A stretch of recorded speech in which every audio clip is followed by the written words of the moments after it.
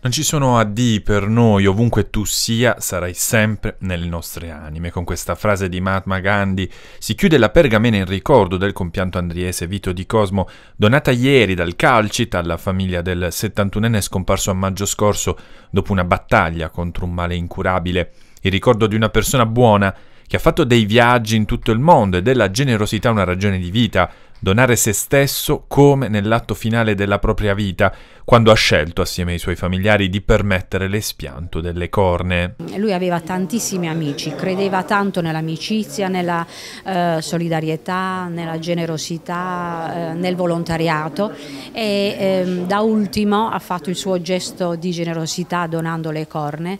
Avrebbe ben voluto donare altro ma era devastato dal male e quindi lui che ha tanto viaggiato e ha fatto viaggiare gli altri ehm, eh, continuerà a far vedere con le sue cornee il mondo agli altri. Emozione palpabile nelle parole della sorella Angela e anche del fratello Michele, entrambi presenti alla cerimonia nella sede andriese del Calcit. Vito di Cosmo era un sostenitore della storica associazione che si occupa in città da 37 anni dei malati oncologici e non mancava mai un appuntamento con la beneficenza. Vito era molto legato al Calcit, era molto legato ad ogni forma di volontariato, di aiuto, di aiuto sociale e, mm, era sempre presente in, eh, nelle varie forme ecco, di eh, solidarietà.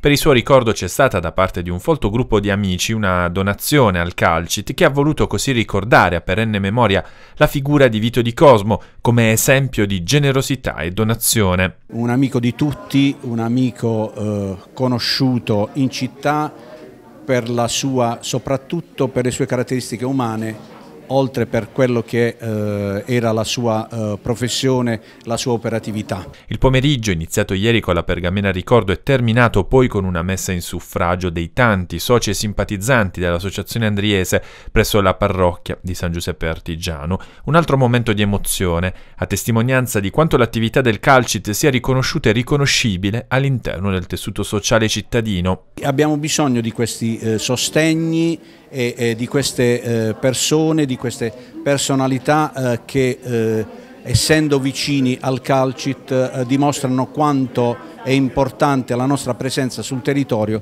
a favore dei malati oncologici.